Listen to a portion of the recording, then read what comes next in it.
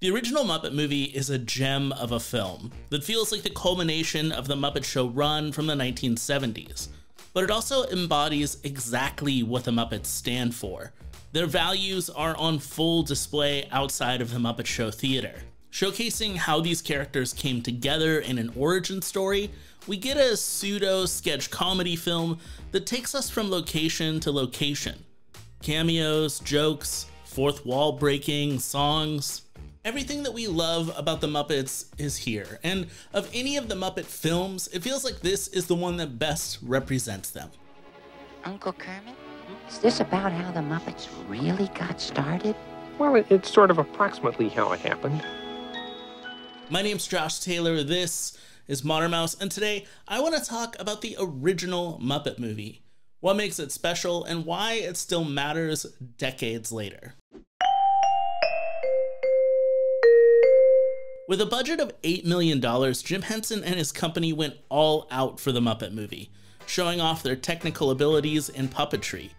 But there was an original worry. Could the Muppets work outside of the Muppet Theater? By that, I mean, do these characters seamlessly fit into the real world, and would audiences accept that? Once they worked out tests with the characters, locations in California and New Mexico were set up. The sets were built so that Jim Henson's puppeteers could collaborate with the live actors, and then shots were thought up in order to create special moments, like Kermit riding a bicycle or Fozzie driving a car. And what makes those moments so special is that they were all done practically. A crane was used to make Kermit ride his bicycle, or puppeteers had to stuff themselves into cars to make the characters work. As an origin story, this film begins with Kermit the Frog and slowly introduces us to the rest of the Muppet Show main cast one by one. It allows for enough time to get to know each character without really crowding up the movie. It's a smart way to make a Muppets film, and it's actually something that Jason Segel tried to reproduce in 2011 for his version of the Muppets. The other benefit to this film is that it takes us on a road trip showcasing different locations that are filled with celebrity cameos. And even though most modern audiences may not know all of these old school celebrities, there's still enough big names that pop up like uh, Steve Martin or an Orson Welles that younger fans might notice and point out. But the soul of this film is Kermit the Frog, who you can also say is the spirit and embodiment of what makes the Muppets work. He lacks cynicism, he's always optimistic, and he finds the good in everyone. Of any character that's ever been created for film or television, live action or not, you'd be hard pressed to find a character more well intentioned and good natured than Kermit the Frog. His values rub off on everybody that he meets, including all of the different Muppet characters that he picks up one by one along his journey from the American South to Hollywood, in the hopes that he'll become a star like he was told at the beginning of this film. As we meet each new character, we learn a little bit about them, and whether they're weird like Gonzo, we picked up a weirdo, cool like the Electric Mayhem, or a bit more grounded like Rowlf the dog. I finish work, I go home, read a book, have a couple of beers, take myself for a walk, and go to bed. Nice and simple. Each sees Kermit's eternal optimism and enthusiasm as something to strive for. What they were prior to meeting Kermit doesn't matter any longer because he shows them that the world can be a better place filled with wonder and opportunity. Speaking of wonder, I want to point out one of the things that truly makes this movie great. The soundtrack to the Muppet movie may contain the greatest collection of original songs from anything that the Muppets have ever done. I was really lucky to once again get sent a vinyl pressing from the people at uh, I Am 8-Bit and Disney, so thank you for sending that to me. The day that this video comes out is actually the day that this vinyl goes on sale. So if you're interested in uh, picking this up, I'll leave a link down below in the description.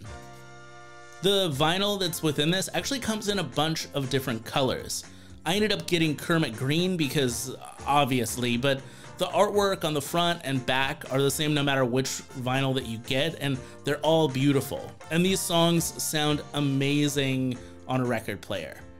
One of my favorite songs of all time, Muppets or Not, is actually Rainbow Connection. Just like Kermit, it's a song about wonder and optimism.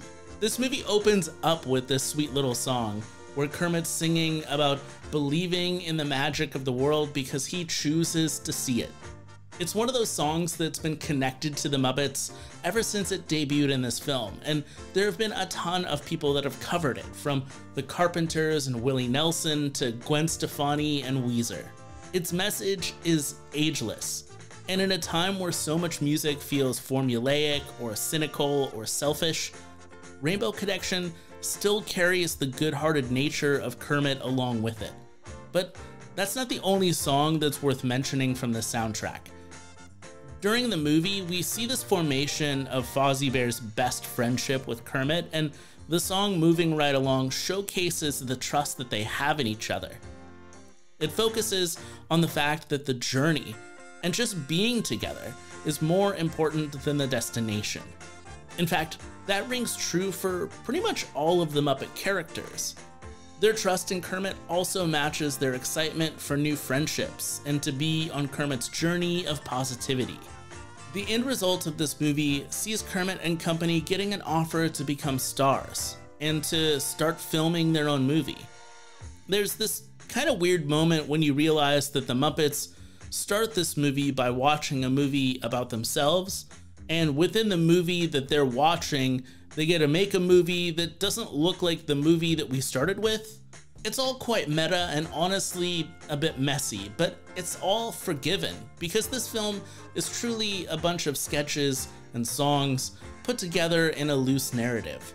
It's all a bit dreamlike anyhow, and the gags and the charm of this film make up for the plot holes. And in fact, I think that we put too much emphasis on plot holes nowadays. And I understand that it's my job to critically analyze films and to point out the plot holes, but sometimes you just have to ignore them for the greater good and to just have fun with it, you know? But I digress. The other major plot line, beyond the quest to get to Hollywood, is the plot to take down Kermit by the villainous restaurateur Doc Hopper, who feels betrayed by Kermit for not being in his frog leg restaurant commercial What's great about this plot, as silly as it is, is that it ends in the most Muppet way possible, with Kermit convincing him to change his ways and see how wonderful the world can be if he just spent more time with friends. I mean, once you get all those restaurants, who are you going to share it with? Who are your friends, Doc? Those guys? For its entire 95 minute runtime, the Muppet movie is a showcase of hope and friendship. From beginning to end, it's a movie that encourages everyone to see the world with a sense of wonder and positivity, to dream and aspire to do something great, but to also find the wonder in the people and places around them in the moment. The Muppets have been around longer than most of my audience has been alive, yet anytime I talk about the Muppets or anytime I talk about the Muppets with somebody who watches my videos or listens to my podcast, they always want to tell me about their favorite film or their favorite character. And you can tell how excited people get to talk about the Muppets. And honestly, I don't think it's that weird. As a society, we're all aware of who the Muppets are, even if they aren't as popular today as they once were. In interviews, former Muppeteer and director Frank Oz has been pretty upfront with his feelings about the current iteration of the Muppets. Ever since Disney purchased them, he doesn't feel like they are what they used to be. And he prefers them to be a bit more edgy, more like Saturday Night Live. And while I understand his point, especially when you go back and watch those old episodes from the original Muppet Show run in the 1970s, I'd argue that something different is missing.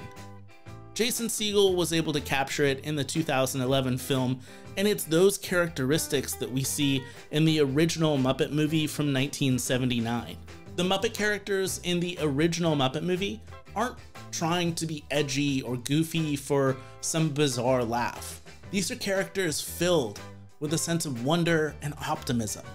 And they see the true value in creating and maintaining friendships because to them, there's nothing more valuable than a good friend by your side through the good times and the bad. I had fun making this video as I do with all of my Muppet videos. I want to thank I Am 8-Bit and Disney for sending me that uh, vinyl.